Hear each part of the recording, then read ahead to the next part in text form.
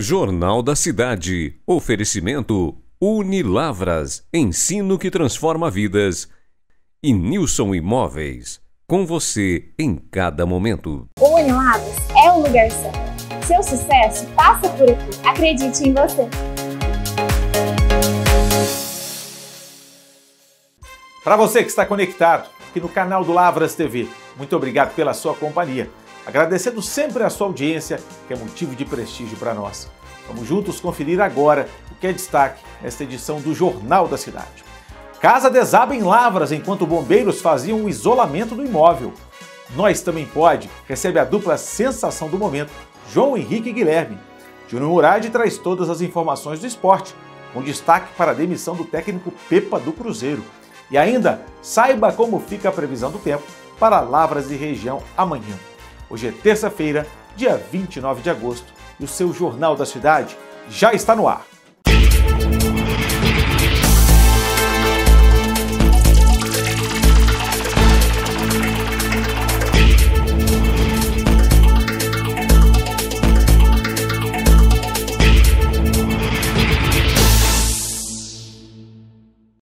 Bombeiros foram acionados a comparecer na rua Paulo Costa Pereira, em Lavras, para fazer uma vistoria em uma casa que estava com risco de desabamento.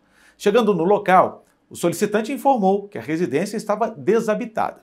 Os bombeiros então iniciaram a vistoria e constataram que uma estrutura do telhado estava rompida, assim como também a parede frontal da residência. Apresentava aí uma grande trinca e um estufamento. Durante a vistoria, os militares localizaram e resgataram ainda um coelho que estava no interior do imóvel. Após a realização da vistoria e o iminente risco de queda, os militares isolaram o local e iniciaram o monitoramento, sendo que após cerca de 15 minutos a casa desabou, como você acompanha nestas imagens. Reveja o exato momento em que o imóvel desaba e repare que quase atinge o bombeiro que estava no local. Devido à rápida intervenção dos militares, principalmente como o isolamento do local, não houve vítimas, felizmente.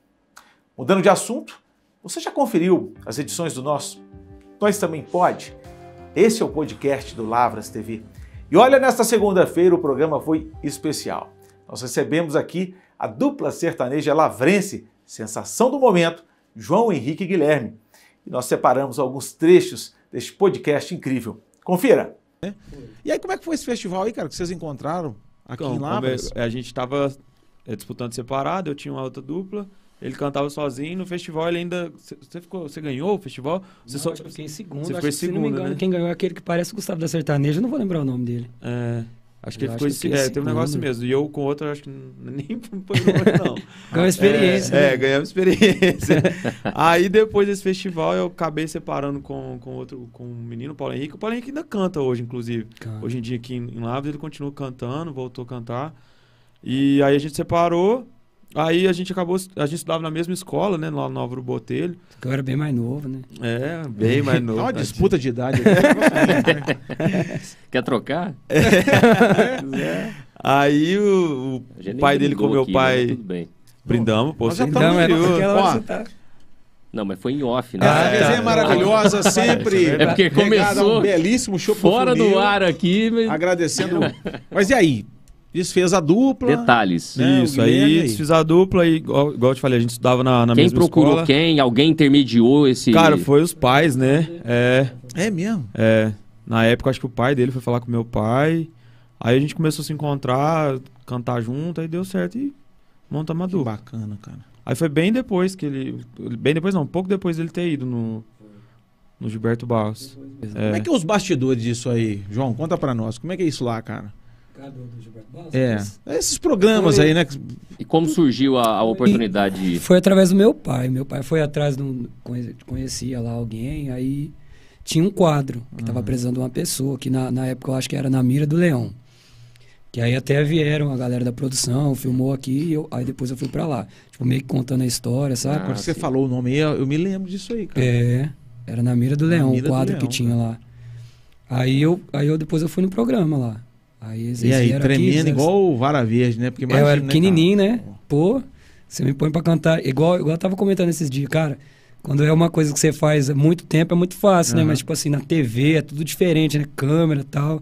Você fica meio tímido, né? Mas hoje não mais. Mas quando eu era pequenininho, pra mim, nossa senhora.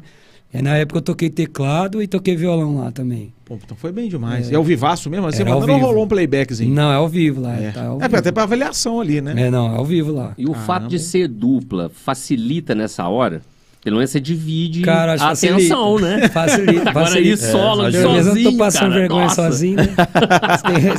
Imperdível para conferir as entrevistas na íntegra, é só acessar o Nós Também Pode, o podcast do Lavras TV, nas nossas redes sociais. Aproveita também para compartilhar e também curtir. Hora do esporte, aqui no Jornal da Cidade, e quem está chegando com as informações mais importantes desta terça-feira é o Júnior Murad, que vai trazer a demissão do técnico Pipa, que a partir de hoje não comanda mais o Cruzeiro. Não é isso, Murad?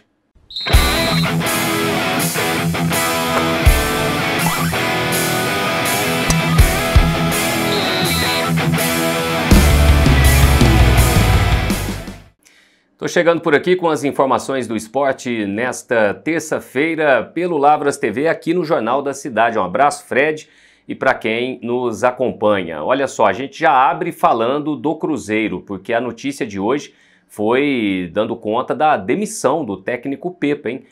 Não esperava. Confesso que por mais que ele vivesse já uma certa pressão, achei que a diretoria fosse ser um pouquinho mais paciente. Ele que buscava alternativas, tentando ajeitar o time do Cruzeiro, mas realmente pesou muito a pressão dos torcedores e os maus resultados. O Cruzeiro, nos últimos 15 jogos, venceu apenas duas partidas, né? Já vinha a sete jogos agora, sem vitória, isso tudo acabou pesando muito aí na conta do português Pepa, que teve uma passagem de 25 jogos com sete vitórias, oito empates e 10 derrotas, um aproveitamento de apenas 38%, realmente números que não são bons e acabou por isso não aguentando a pressão. Cruzeiro agora segue monitorando e já pensando abrir aí negociações com um possível novo técnico, nomes ainda serão especulados e vamos aguardar aí os desdobramentos no decorrer da semana. O Atlético, depois da vitória contra o Santos, na primeira partida oficial na sua arena, tem a semana livre. Aliás, o Galo terá muitas semanas livres depois de deixar a Libertadores e a Copa do Brasil. E o Felipão fazendo seus ajustes e muito otimista em relação ao time do Atlético ganhar corpo nesse campeonato brasileiro e realmente partir em busca de uma sequência de vitórias que pode deixar o Galo lá na parte de cima da tabela. O América, que venceu o São Paulo, deu uma respirada, mas agora vira a chave e pensa no jogo decisivo pela Copa Sul-Americana, quartas de final na próxima quinta-feira no Castelão. Perdeu por 3 a 1 em Belo Horizonte e está numa situação bem difícil, mas vai como franco atirador para este confronto, tentando buscar essa classificação. Falando de competições sul-americanas, né, além desta competição do América, a gente tem também a definição dos semifinalistas da Copa Libertadores. Hoje o Internacional, que abriu boa vantagem, jogando fora na altitude de La Paz contra o Bolívar, vai decidir a vaga em casa no Beira-Rio diante do seu torcedor e com uma boa vantagem. Amanhã o Palmeiras, que goleou o Deportivo Pereira por 4 a 0, decide em São Paulo, praticamente classificado. Grande jogo, Racing e Boca, tudo em aberto no clássico argentino, já que na primeira partida as equipes empataram sem gols. E na quinta-feira o Fluminense vai ao Paraguai, tentando evitar aquela zebra que aconteceu com o Flamengo, né, que ninguém esperava, embora o Olímpia seja um time de muita tradição. Mas o Fluminense, precavido, fez 2 a 0 no Rio e leva para o Defensores del Chaco uma ótima vantagem. É, são os brasileiros né, nessa semifinal, pintando aí pelo menos, quem sabe, três brasileiros na semifinal ou dois, seriam realmente já números bem interessantes. Acredito que os três brasileiros vão ratificar a condição de candidatos aí realmente a essas vagas à semifinal da Copa Libertadores, viu, Fred? No decorrer da semana, a gente também vai atualizando tudo por aqui. Muito obrigado, Murad. Realmente, é o desempenho do técnico português muito aquém do que se esperava. Vamos ver agora como fica a previsão do tempo para Lavras e região.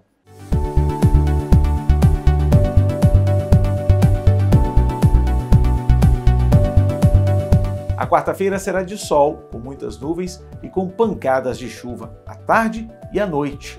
A temperatura mínima será de 14 graus e a máxima 24. Ventos de 15 quilômetros e a umidade relativa do ar na casa dos 35%.